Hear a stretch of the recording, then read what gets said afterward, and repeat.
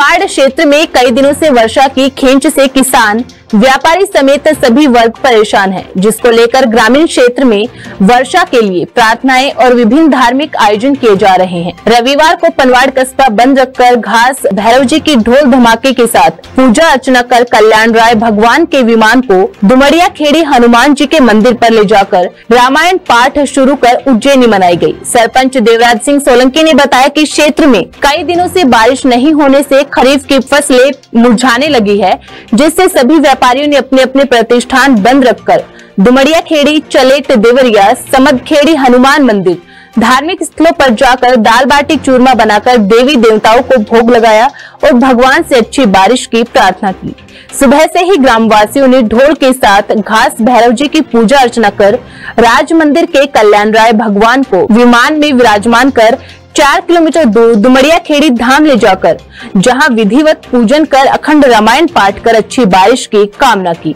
पनवाड़ से हमारे संवाददाता सुरेश सुमन की खास रिपोर्ट।